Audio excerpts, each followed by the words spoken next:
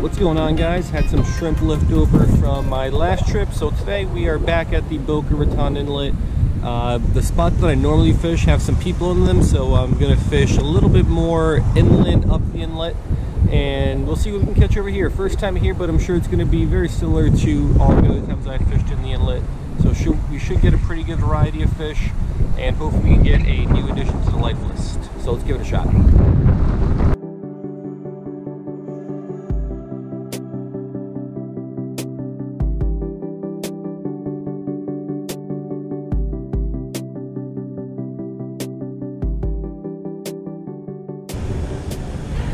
All right, so there is the little bit of shrimp on a size 8 hook, about 8, 10 inches above the uh, little 1 ounce sinker. It is very windy today. Tide is going out right now. Let's just drop this straight down here and see what we can pick up to start. First drop, we got our first fish. All right, so our first drop produced uh, fish number one of the day, a little juvenile mangrove snapper. So we'll toss it back and let's see what else is out there.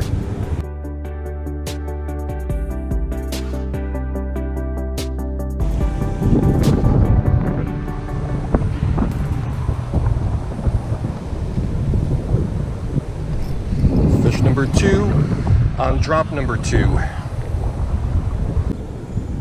Alrighty, second drop produced our second fish and second species, a Sergeant Major damselfish. Always tons of these guys around here.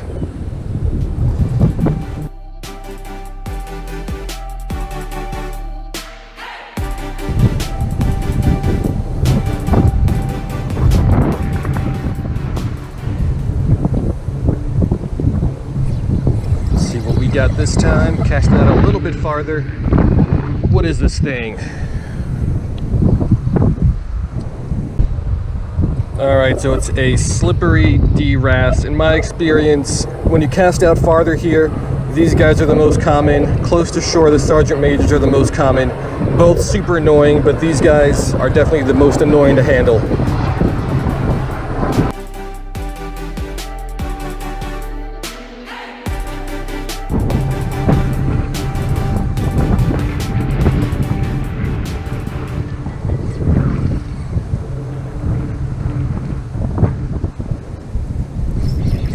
Got him. Let's see what we got this time. Is that another one? That's just a bigger, slippery D-wrasse. Yeah, so this is a good sized fish, and it is a beautiful fish. Just super slimy, super slippery, and super spiny up on the dorsal fin, especially, so hard to get the hook out. But beautiful fish, I just really hope we don't catch any more of these.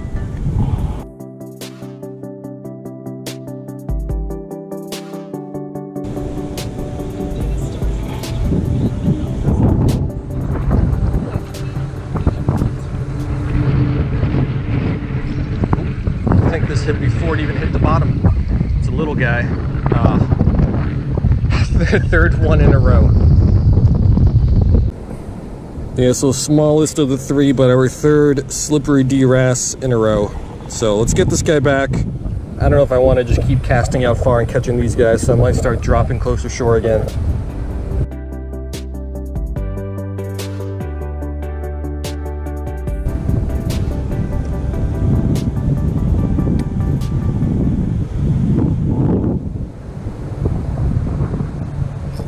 Got him.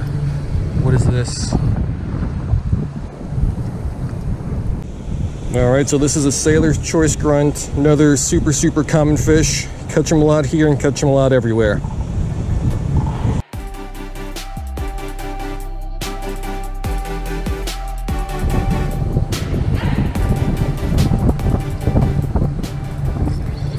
Let's see what we got.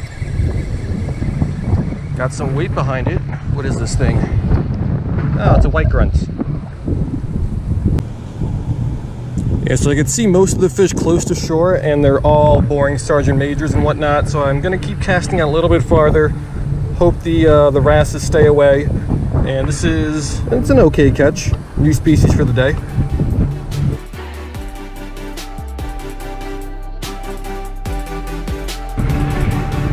Probably doesn't come out well on camera, but straight down, especially when the sun's out, you can see all the way to the bottom. Water's pretty clear. It's all mainly sergeant majors, a couple sailor's choice grunts, and once in a while a mangrove snapper. So nothing really exciting. So I'm gonna keep kind of just casting this a little bit farther out there, and hopefully we can get something cool over there. Let's see what this is. Oh, that's the fish I was also trying to stay away from, another sergeant major. Yeah, so these guys love rocks and structure. There's usually a lot of them close to shore. Farther out there where there's less rocks and most sand, usually there's less of these guys, but even though it's less, it's never zero.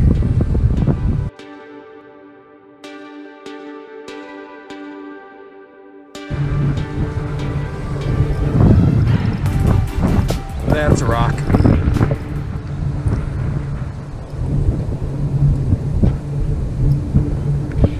And I'm broken off. All right, I'm gonna go ahead and retie, and I think I'm gonna try to find a new spot.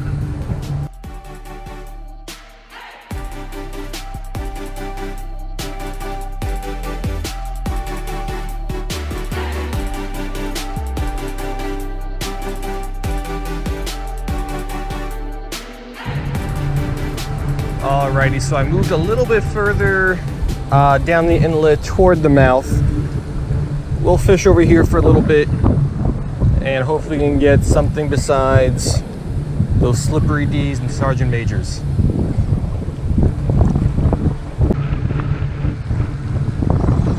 Let's see what our first fish over here will be. It feels like a small one. Ah, oh, it is a sergeant major. Yeah, so I still remember the first Sergeant Major I caught a couple years ago, how excited I was to catch it and how long it took me to catch it. But ever since then, I have not been able to get away from these guys.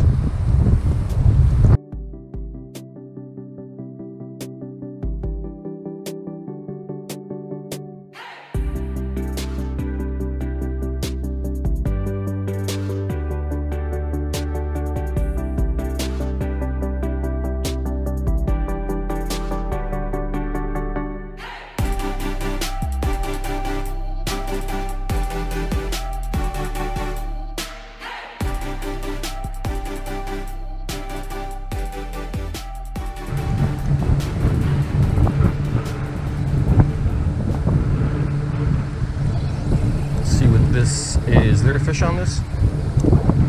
Oh, it's a little guy. What is it? All right, so it's some sort of a damsel fish, but it's not a sergeant major, so I will take it. Either a longfin or I think a Beau Gregory. I used to think these guys were cocoas, but the cocoas have a dark dot there on the tail, which this one doesn't. So I think it's either a longfin or a Beau Gregory. But IDing these guys is usually pretty difficult at least for me.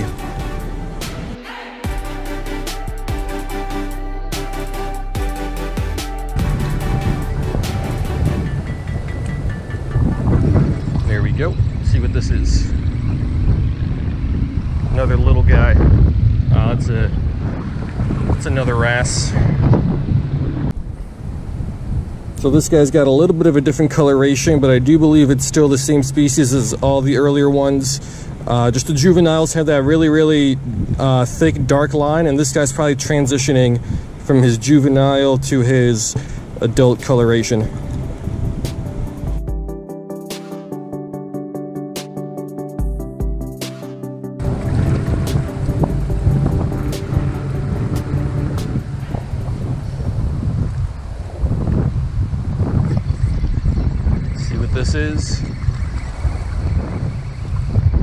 That's another ass.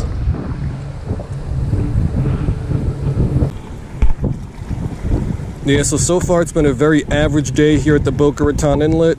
A lot of lot of uh, slipper D wrasses out farther uh, from shore and then close to shore. A lot of sergeant majors.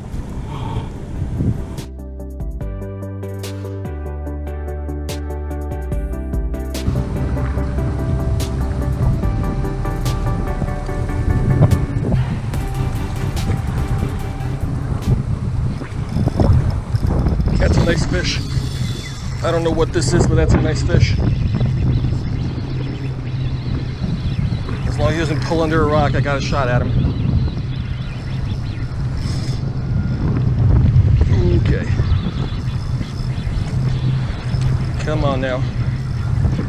What? Oh no! He broke me off. He cut my line. I don't know what that was. That is a huge disappointment. And I think on that disappointment, I'm going to call it a day.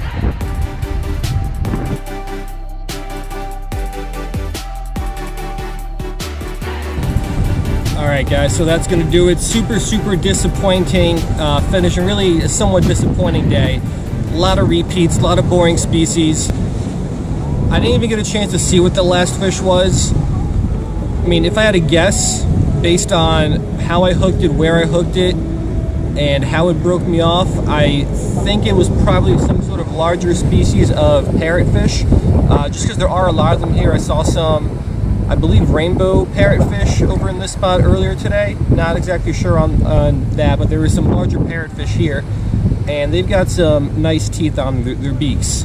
So it didn't necessarily, I don't think they necessarily like broke my line because the entire rig was still intact except for where that hook was. So I think the, the beak probably just kind of uh, filed down on that line by the hook until it just finally gave way. But super, super disappointing because I don't know what it was. And if it was a new species, that's even more disappointing. But I guess we'll never know. So, not, not a great way to end it, but that's the way it goes sometimes. So yeah, hope you guys liked it anyway, and I will see you next time.